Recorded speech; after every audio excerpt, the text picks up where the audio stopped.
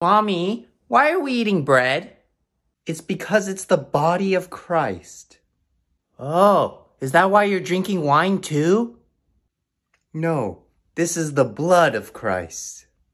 Oh, I think I get it. So everything comes from Jesus Christ's body, right? That's right. He sacrificed his whole body to us. So then what'd you feed my little brother?